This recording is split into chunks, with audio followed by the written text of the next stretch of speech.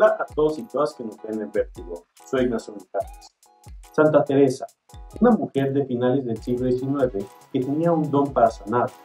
Su fama trascendió a Estados Unidos, provocando admiración, rechazo por la Iglesia Católica y tensión para el gobierno de Porfirio Díaz.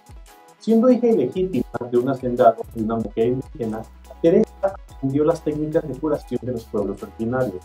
Su vida cambió tras un coma a los 16 años, despertando con visiones y profecías centradas en curar a los enfermos.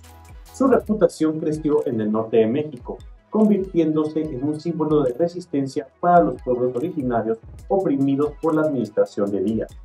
Fue exiliada a Estados Unidos, donde sus habilidades también fueron reconocidas. Aunque nunca vio la Revolución Mexicana, su influencia desató la ira gubernamental y la devoción de las masas.